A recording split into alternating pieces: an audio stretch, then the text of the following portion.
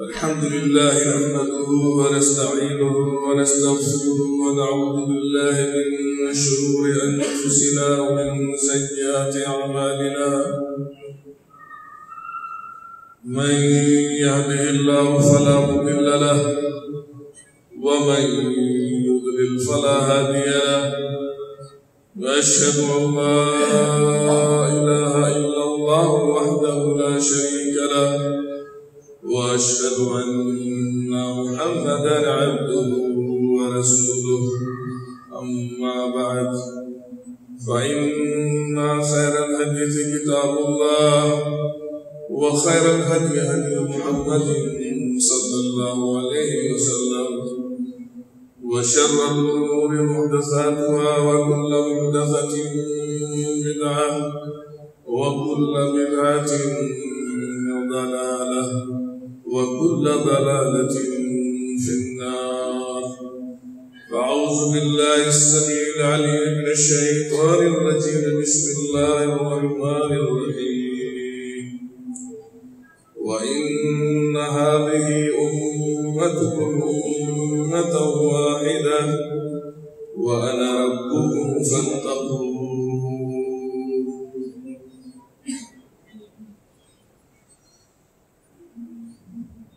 اسلامی دین بھائی، محترم مسالہ اکرام، ملت کی ماں اور بہنوں اور حسین طلب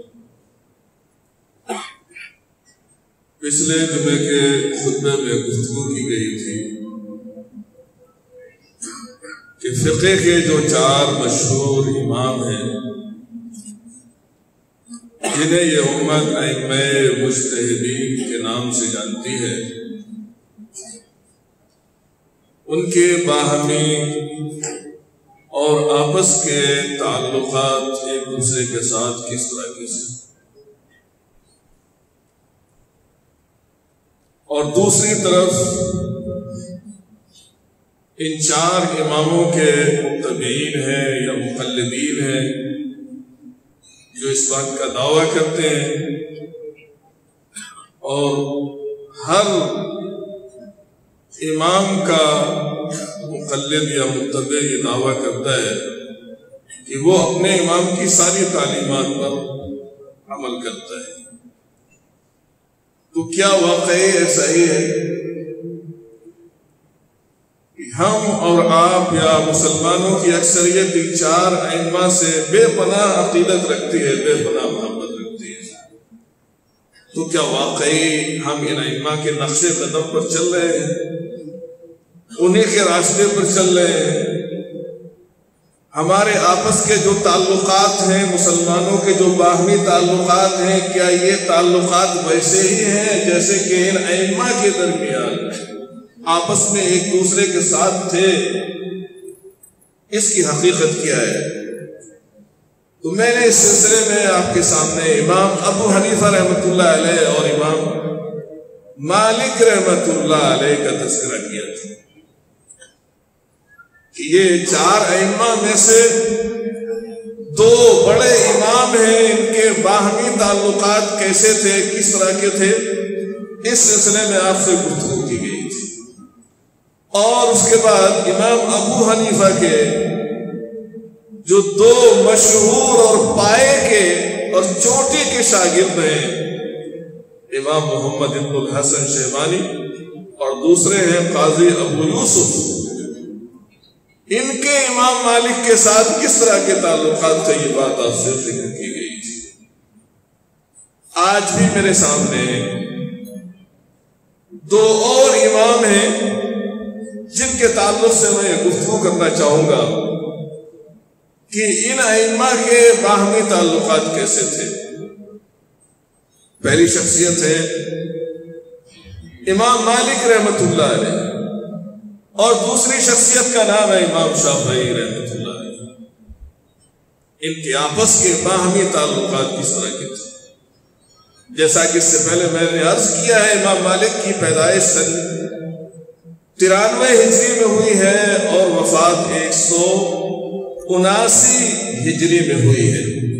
اور امام شافعی کی پیدائش ایک سو پچاس ہجری میں ہوئی ہے اور وفات دو سو چار ہجری میں ہوئی ہے۔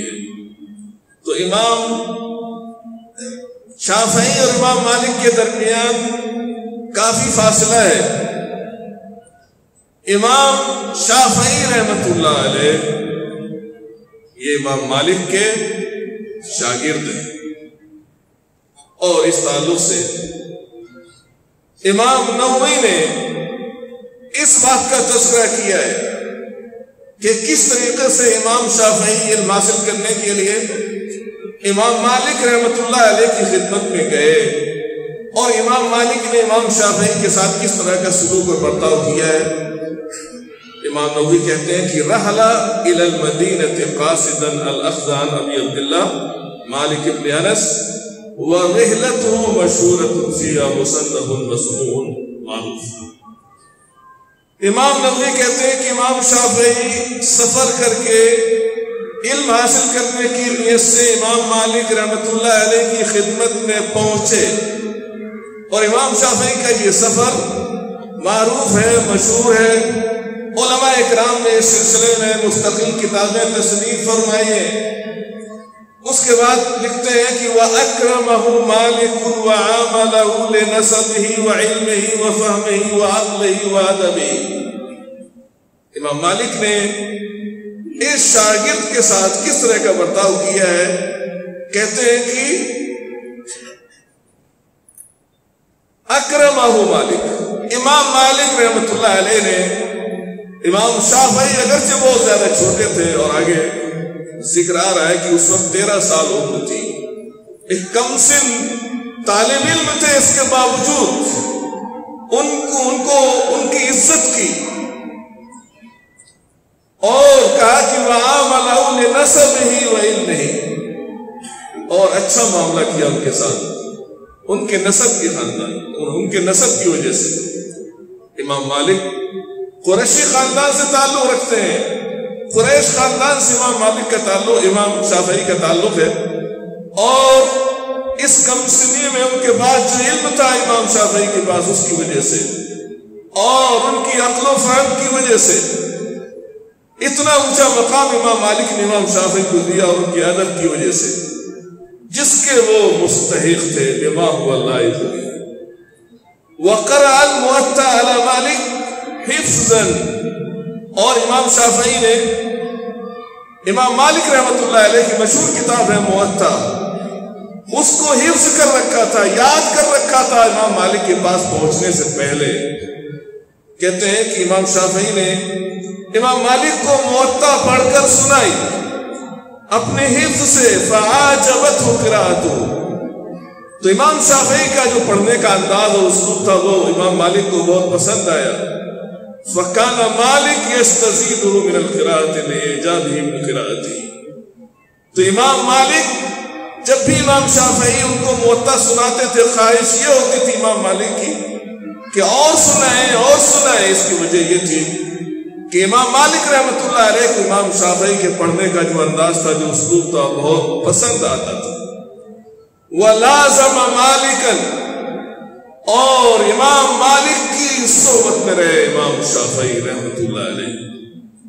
کتنے سال امام مالک کی صحبت میں رہے مورخی نے لکھا ہے، سولہ سال امام شافعی نے امام مالک کی صحبت میں اور امام مالک رحمت اللہ علیہ نے اپنے اس عظیم المرتبت شاگرد کو جو قیمتی نصیحتیں دی ہیں، ان نصیحتوں میں سے ایک آخری وصیت کہیں اور آخری نصیحت کہیں اور ہمارے طلبہ خاص طور سے اس نصیحت اور اس نصیحت پر غور فرمائے۔ امام مالک نے امام شافعی کو جو نصیحت فرمائی ہے، جو وصیت کی ہے کہا، فقال اتق اللہ۔ امام مالک رحمت اللہ علیہ سے کہا تھا کہ اللہ تعالیٰ سے کرتے رہے۔ تقوی اختیار کرنا وہ المعاصی، اور گناہوں سے اجتناب کرتے رہنا، گناہوں سے دور رہنا۔ علم دین، علم شریعت تم حاصل کرنے کے لیے یہ آئے ہو واپس جا رہے ہو۔ اگر تمہیں مزید علم دین حاصل کرنا ہے اور اس اس علم دین سے دین اور دنیا دونوں جہاں میں فائدہ اٹھانا ہے، اور مزید علمی ترقی اگر تم کو کرنی ہے، تو اللہ تعالیٰ کا تقوی اختیار کرنا امام مالک نے یہ قیمتی نصیحت اور وسیعت فرمائی ان کو۔ کیوں؟ فَإِنَّهُ سَيَكُونُ لَكَ شَانِ امام مالک نے کہا کہ مستقبل میں آگے چل کر تمہاری یعنی قریب شان ہوگی، تمہارا ایک مقام ہوگا، تمہارا ایک مرتبہ ہوگا۔ دنیا تمہارے علوم و فنون سے فائدہ اٹھائے گی، یہ تمہاری شان ہوگی۔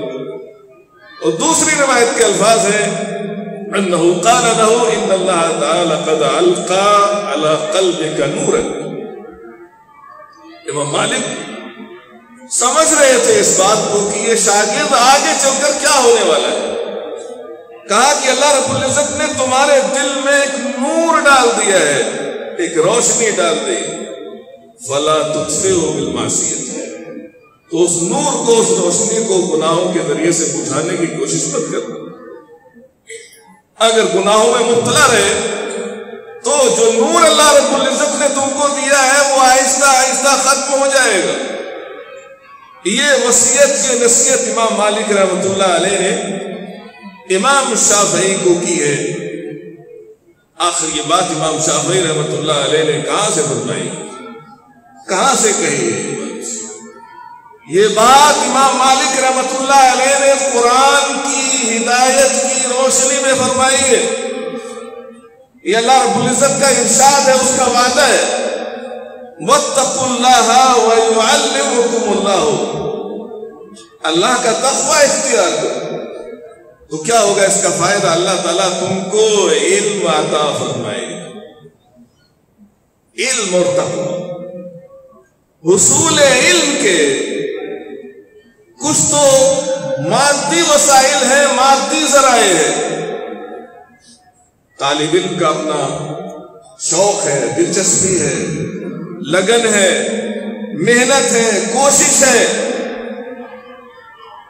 یہ سارے مادی وسائل ہیں۔ اور اسی کے ساتھ ساتھ مزید علمی ترقی کے لیے اللہ رب العزت نے کچھ روحانی وسائل بتلائے یا مانوی وسائل بتلائے ہیں اور ان وسائل میں سے ایک اہم ذریعہ، ایک اہم وسیلہ اللہ رب العزت کا تقوی اور اس کی پرہیزگاری ہے اس کے۔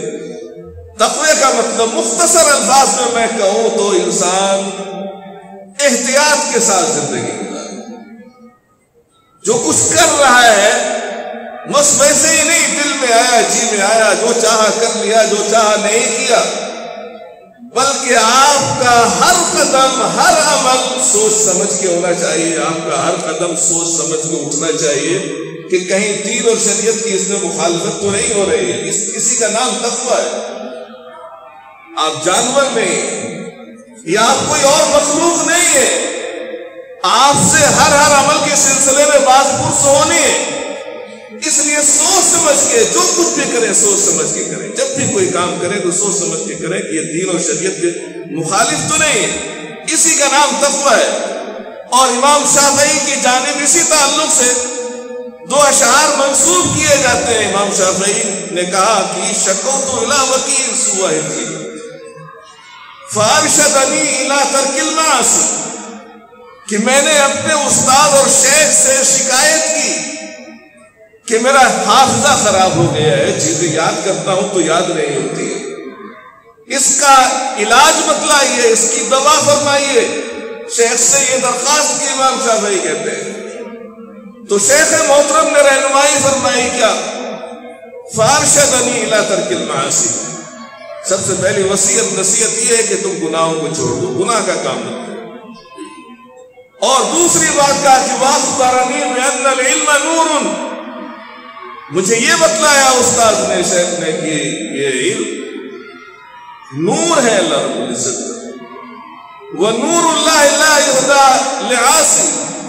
اور اللہ رب العزت کا نور یہ گنہگار کو عطا نہیں ہوتا ہے گنہگار اس کا مستحق نہیں ہوتا ہے۔ اس لیے ہمارے یہاں چونکہ اس وقت امتحانات کے دن چل رہے ہیں، اور اللہ رب العزت ہدایت ہے، ایسے طلبہ کو جو خاص طور سے امتحان کے ایام میں نماز وغیرہ اور دوسری جو نیکیاں عام ایام میں کیا کرتے تھے، اس سے بالکل غافل ہو جاتے ہیں۔ کس چیز کے چکر میں؟ زیادہ یاد کرنے کی حوث میں، زیادہ پڑھنے کی خواہش میں۔ رزلٹ میں اچھے نمبرات لانے کے لیے نماز سے بالکل دور ہو جاتے اور اگر کچھ آتے بھی ہیں تو پچھلی صفوں میں رہتے ہیں۔ میری گزارش یہ ہے کہ آپ کو یہ دین و شریعت کا علم اس طریقے سے حاصل نہیں ہوگا۔ اور اگر کچھ نمبرات اچھے اور بہتر ہو بھی گئے تو وہ دنیا و آخرت میں آپ کے کام آنے والے نہیں۔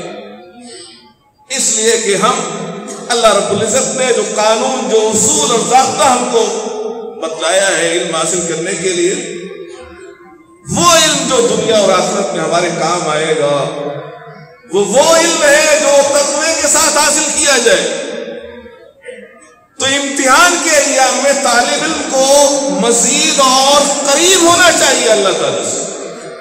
آپ کی اپنی ذاتی محنت، کوشش اور وقت کا صحیح استعمال اس کے ساتھ ساتھ آپ کی یہ بھی ذمہ داری ہے کہ آپ اللہ سے بہت زیادہ قریب ہوں ایسے حالت آپ سجدے میں اللہ تعالیٰ سے دعا کریں۔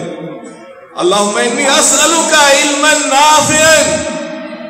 سجدے میں دعا کرے اور جو دعا کی قبولیت کے اوقات ہیں، ان میں اللہ تعالیٰ سے طلب کرے یہ روحانی وسیلہ ہے، روحانی ذریعہ اور سبب ہے آپ کی علمی ترقی کا لیکن آپ نماز چھوڑ کر آپ علمی ترقی کر لے جائیں ہو سکتا ہے کہ دنیا میں تھوڑی سی کامیابی آپ کو حاصل ہو جائے، لیکن معاف فرمائیے گا، آخرت میں یہ علم کام آنے والا نہیں۔ نہ آپ کے کام آئے گا اور نہ دوسرے لوگ ہیں، ان کو آپ فائدہ پہنچا سکتے اس لیے امام مالک رحمت اللہ علیہ نے یہ اپنے شاگرد کو اور خاص شاگرد کو، امام شافعی کو یہ نصیحت فرمائی کہ اگر علمی ترقی چاہتے ہو تو تقوی کی زندگی گزارنا اللہ تعالیٰ کی نافرمانی نہ کرنا۔ تو یہ نصیحت کی تھی امام مالک نے، امام شافعی رحمت اللہ علیہ۔ آئیے، یہ تو معاملہ تھا امام مالک کا، امام شافعی کے ساتھ۔ اب یہ کہ امام شافعی کا معاملہ امام مالک رحمت اللہ علیہ کے ساتھ کیسا تھا، وہ بھی بہت فرمائے۔ مورخی لکھتے ہیں کان الامام الشافعی استشرو کثیرا بکلام مالک۔ امام شافعی رحمت اللہ علیہ بہت زیادہ امام مالک رحمت اللہ علیہ کے اقوال سے استدلال کیا کرتے تھے۔ اور موقع موقع سے امام مالک رحمت اللہ علیہ کا ذکر خیر کیا کرتے تھے امام شافعی رحمت اللہ علیہ۔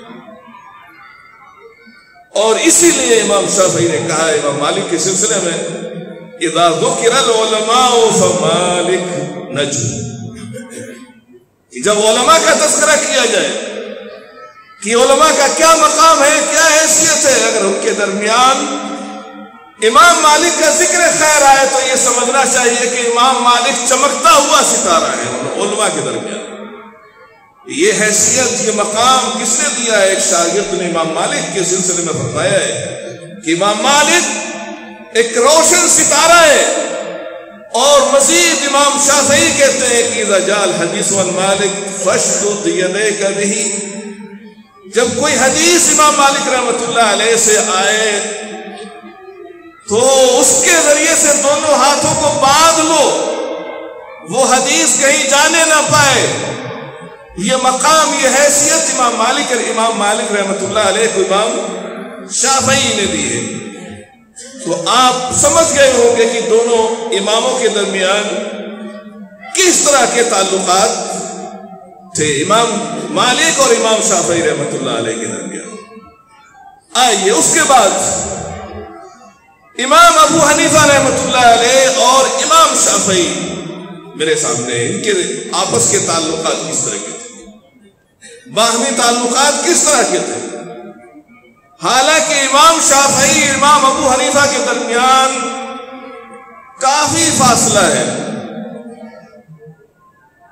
تو جس دن مورخین ذکر کرتے ہیں، جس سال ذکر کرتے ہیں کہ جس سال امام ابو حنیفہ رحمۃ اللہ علیہ کی وفات ہوئی ہے، اسی سال امام شافعی رحمۃ اللہ علیہ کی ولادت ہوئی اور پیدائش ہوئی ایک امام دنیا سے گیا اور دوسرا امام دنیا میں اسی سال آیا ہے۔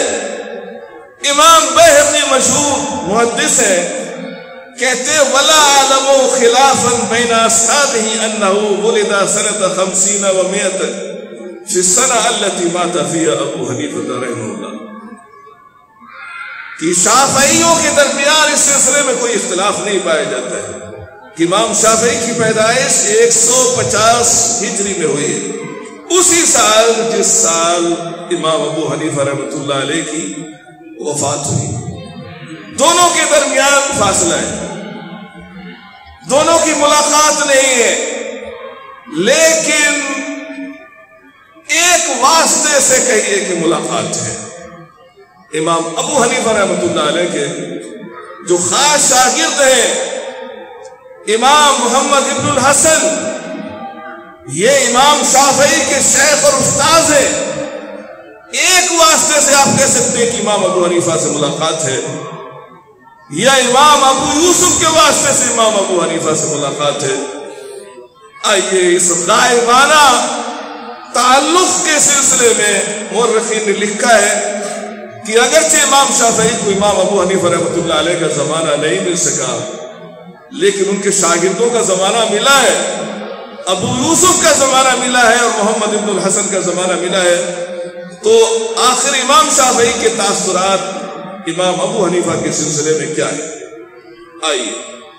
مشہور قول امام صاحبی نے ذکر کیا ہے، قال الشافعي الناس في الفقه يالون لا بحنيفه امام شافعی، امام ابو حنیفہ رحمۃ اللہ علیہ کے سلسلے میں کہتے ہیں کہ سارے لوگ فقہ میں امام ابو حنیفہ رحمۃ اللہ علیہ کے محتاج اور دوسری روایت کے الفاظ ہیں، من اراد ان يتبهر في الفقه فهو يالون لا ابي حنیفہ جو شخص علم فقہ میں مہارت حاصل کرنا چاہتا ہے، اسے کیا کرنا چاہیے؟ کہا کہ یہ تبہر فہوا یال ابی حنیفہ، اسے ابو حنیفہ رحمۃ اللہ علیہ کی ضرورت پڑے گی۔ ان کے مسائل کو، ان کے طریقے استدلال کو، ان کی فقہ کو سمجھنے کی ضرورت پڑے گی۔ اس کے بغیر آپ فقہ میں مہارت حاصل نہیں کر سکتے۔ تو امام شافعی نے امام ابو حنیفہ رحمۃ اللہ علیہ کی وفات کے باوجود اس بات کا اعتراف کیا ہے اور اس بات کا اشارہ دیا ہے کہ امام ابو حنیفہ رحمۃ اللہ علیہ فقہ کے کتنے بڑے امام تھے۔ اور اس کے علاوہ امام شافعی سے امام ابو حنیفہ رحمۃ اللہ علیہ کے سلسلے میں سوال کیا جاتا ہے وہ سوئل الشافعی عن ابی حنیفہ، فقال لو جاء الى اساطينكم هذه فقايسكم لجعلها من خشب۔ امام شافعی سے امام ابو حنیفہ رحمۃ اللہ علیہ کے سلسلے میں سوال کیا گیا تو کہا کہ اگر امام ابو حنیفہ رحمۃ اللہ علیہ، تمہارے جو مسجد کے ستون ہیں ان کے پاس آتے اور ان ستونوں کے سلسلے میں تم سے مناظرہ ہوتا امام شاہ، امام ابو حنیفہ رحمۃ اللہ علیہ کے ساتھ کہ یہ ستون یہ لکڑی کے ہیں یا پتھر کے ہیں؟ تو امام ابو حنیفہ رحمۃ اللہ علیہ ان ستونوں کو لکڑی کا ثابت کر سکتے تھے اس قدر قوت استدلال اللہ رب العزت نے امام ابو حنیفہ رحمۃ اللہ علیہ کو عطا فرمائی تھی۔ تو امام شافعی کے یہ تاریخی کلمات ہیں، امام ابو حنیفہ سلسلہ، ابو حنیفہ رحمۃ اللہ علیہ کے سلسلے میں۔ اور آئیے، آگے چلتے ہیں۔ امام شافعی اور امام ابو حنیفہ رحمۃ اللہ علیہ کے خاص شاگرد محمد ابن الحسن۔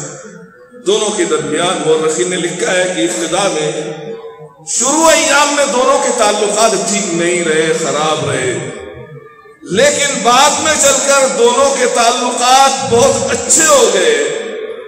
اور امام شافعی رحمت اللہ علیہ نے محمد ابن الحسن سے بہت کچھ سیکھا اور علم حاصل کیا ہے۔ اور اسی سلسلے میں امام شافعی کہتے ہیں، محمد ابن حسن کے سلسلے میں کہتے ہیں کہ لو اشاؤ انقل اگر میں کہنا چاہوں تو یہ بات کہہ سکتا ہوں، محمد ابن الحسن کے سلسلے میں کیا؟ نزل القرآن و بے لغت محمد ابن الحسن من فصاحتی کہ یہ قرآن محمد ابن حسن کی زبان میں نازل ہوا ہے۔ اللہ رب العزت نے محمد ابن الحسن کو جو فصاحت، جو بلاغت عطا فرمائی تھی، اس کا یہ عالم تھا، امام شافعی نے یہ بات کہی ہے۔ اور دوسرا قول ہے، امام شافعی کا ان کے سلسلے ما تکلم احد فی الرائے الا وهو عیال علی اہل العراق۔ کہتے ہیں کہ استحادی مسائل میں جو شخص بھی گفتگو کرے گا، اسے اہل عراق کی حاجت ہوگی، ضرورت ہوگی۔ اہل عراق سے مراد امام ابو حنیفہ اور ان کے شاگرد ہیں۔ اور اس کے بعد کہتے ہیں کہ وہ مار رہے تو مثلا محمد ابن الحسن۔ اور میں نے محمد ابن حسن کے مثل کسی کو نہیں دیکھا۔ ایک اور قول ہے امام شافعی کا، کہتے ہیں کہ ما رأت عینایا مثل محمد ابن الحسن؟ میری نگاہوں نے محمد ابن حسن کی طرح سے کسی انسان کو نہیں دیکھا۔ ولم تلد النساء فی زمانے مثلہ اور ان کے زمانے میں ان کے جیسا کس ماؤں نے کسی کو نہیں جنا ہے پیدا نہیں کیا ہے۔ یہ کون کہہ رہا ہے؟ یہ امام شافعی فرما رہے ہیں امام ابو حنیفہ کے خاص شاگرد محمد ابن حسن کے سلسلے میں۔ اور آئیے دوسری جانب دیکھتے ہیں کہ محمد ابن حسن کا کیا تعلق ہے، امام شافعی کے تعلق سے۔ ان کے تاثرات کیا ہیں؟ تو محمد ابن الحسن کے تعلقات کے سلسلے میں ابو حسان زیادی ہے کہتے ہیں، ما رائے تو محمد ابن الحسن یعظم من اہل العلم اعظام الشافعی کہتے ہیں کہ میں نے محمد ابن حسن سے زیادہ امام شافعی کی تعظیم کرتے ہوئے کسی کو نہیں دیکھا۔ محمد ابن حسن امام شافعی کا بہت زیادہ ادب و احترام کیا کرتے تھے۔ کتنا ادب کرتے تھے۔ اس کی دلیل کیا ہے؟ آگے وہ بات آ رہی۔ کہتے ہیں، وَلَقَدْ جَاءَ الشَّافِعِي يَوْمًا۔ کسی دن امام شافعی محمد ابن حسن سے ملاقات کرنے کے لیے آئے۔ وَقَدْ رَكِبَ محمد ابن حسن اور اس وقت محمد ابن حسن سواری پر سوار ہو چکے تھے، کہیں جا رہے تھے۔ اور بعض لوگوں نے ذکر کیا ہے کہ گورنر نے ان کو ملاقات کے لیے بلایا۔ ہوا تو کہتے ہیں کہ سوار ہو چکے تھے اور نکل رہے تھے۔ فلقیہ اللہ باب داری امام شافعی سے ان کے گھر کے دروازے پر ملاقات ہو گئی۔ فرجع محمد ابن الحسن الى منزلی محمد ابن حسن گھر واپس آ گئے. اپنا جو سفر تھا وہ ختم کر دیا امام شافعی جب ملاقات کرنے کے لیے آ گئے گھر واپس آئے. وہ خلا بہی یوم اور اس دن رات تک امام شافعی کے ساتھ رہے محمد ابن الحسن. تنہائی میں رہے.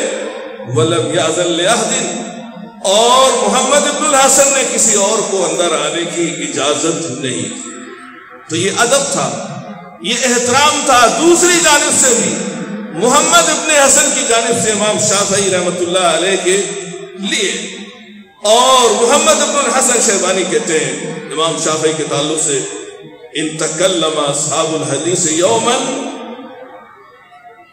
یوم ما فبلسان الشافعی۔ کہ جب کبھی محدثین گفتگو کریں گے تو امام شافعی کا تذکرہ ضرور کریں گے۔ امام شافعی کی زبان میں گفتگو کریں گے۔ امام شافعی اللہ کے رسول صلی اللہ علیہ وسلم کی حدیث سے اس قدر عقیدت اور محبت رکھتے تھے۔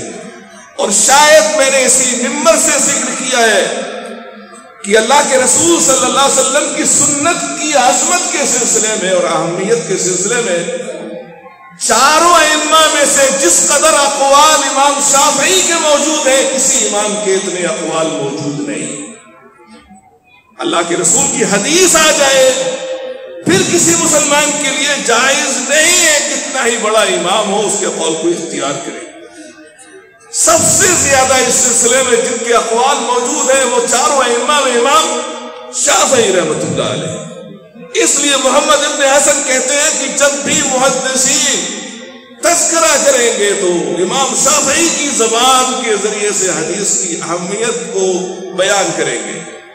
اس لیے کہ امام شافعی نے بہت ساری کتابیں بھی اس سلسلے میں لکھی ہوئی لکھی ہوئی تو محمد ابن حسن نے امام شافعی کے تعلق سے یہ بات فرمائی ہے۔ اور اسی طریقے سے ابو یوسف بھی امام شافعی دونوں کے درمیان کس طرح کے تعلقات ہیں؟ جلدی سے ایک بات میں ذکر کر دوں۔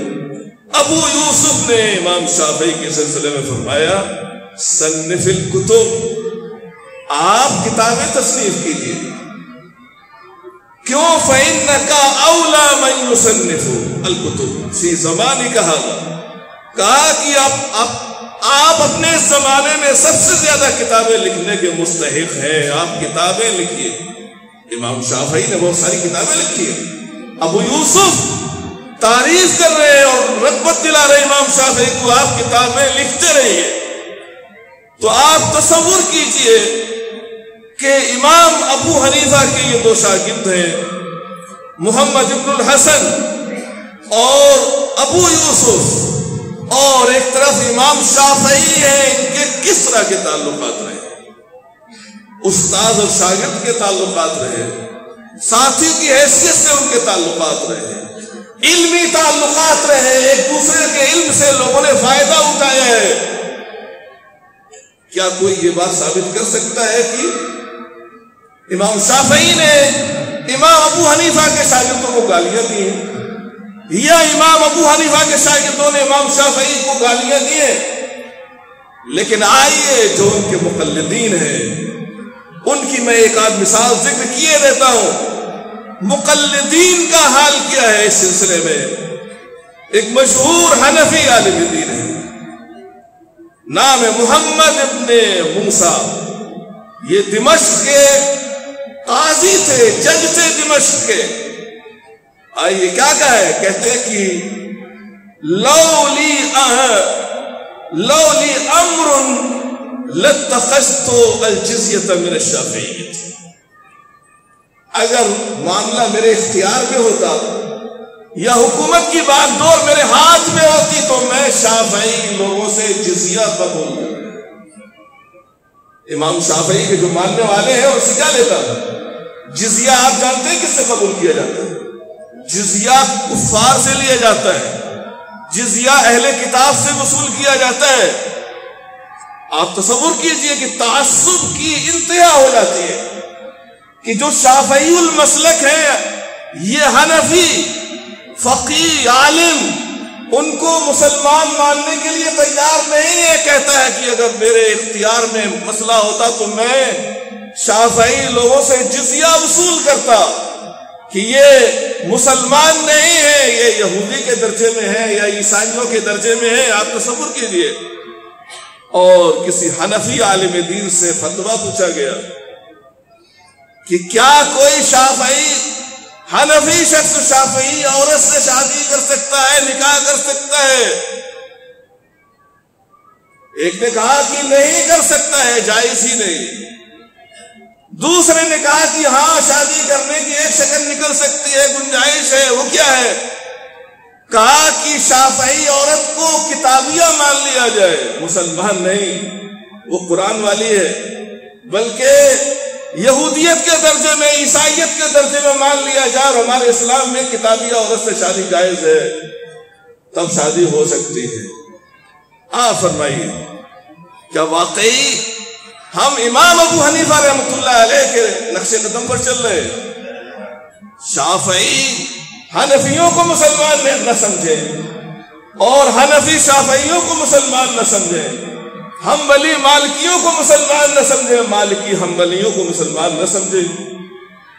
ہم کس دنیا کے انسان ہیں؟ کس دنیا کے مسلمان ہیں؟ اور حیرت کی بات تو یہ ہے، ہم اپنی زبان سے یہی کہتے ہیں۔ کہ ہماری کتاب ایک ہے، قرآن ایک ہے، اللہ ایک ہے، کعبہ ایک ہے، میں کہوں گا یہ ساری بکواس ہے، جھوٹ ہے یہ سب۔ صرف زبان سے ہم کہتے ہیں، لیکن ہمارا عمل اس کی بات شہادت نہیں دیتا ہے کہ ہمارا قرآن ایک ہے۔ ہمارا عمل اس بات کی گواہی نہیں دیتا ہے کہ ہمارا نبی ایک ہے۔ یا ہماری کتاب ایک ہے، ہمارا کعبہ ایک ہے، ہمارے اعمال اس کی شہادت نہیں دیتے۔ ہم ایک دوسرے کے پیچھے نماز پڑھنے کے لیے تیار نہیں۔ آپ کے اسی محلے میں مسجد ہے۔ ایک ہی امام کے ماننے والے ہیں، لیکن تھوڑا سا فرق ہے۔ اس مسجد میں دو دفعہ جماعت ہوتی ہے۔ اسی محلے کی بات میں کر رہا ہوں، اس سے پہلے بھی میں یہ بات ذکر کر چکا ہوں۔ تو آپ مجھے بتلائیں کہ آپ کون سے مسلمان ہیں؟ کس امام کو مانتے ہیں؟ امام ابو حنیفہ کو مانتے ہیں، بکواس ہے۔ آپ نہیں مانتے، ہزار دفعہ کہیں ہم امام ابو حنیفہ کی تقلید کرتے ہیں، نہیں کرتے۔ ہیں اگر ان کے تعلقات جس طرح کے تھے، جس طرح کے میں نے بیان کیے، تو ہمارے تعلقات کیسے نہیں ہو سکتے؟ ہم ایک ہی امام کے ماننے والے ایک دوسرے کے پیچھے نماز کو نہیں پڑھ سکتے؟ کون سا ایمان ہے ہمارا؟ کون سے امام ہو کسی امام کو نہیں مانتے۔ اللہ رب العزت سے دعا ہے کہ اللہ تعالیٰ مسلمانوں کو صحیح سمجھ عطا فرمائے۔ اور ائمہ کی جو تعلیمات ہیں ان پر عمل کرنے کی توفیق عطا فرمائے۔ انشاءاللہ زندگی رہی تو پھر اسی سلسلے میں آپ سے گفتگو ہوگی۔ وہ آخر دعوان الحمدللہ۔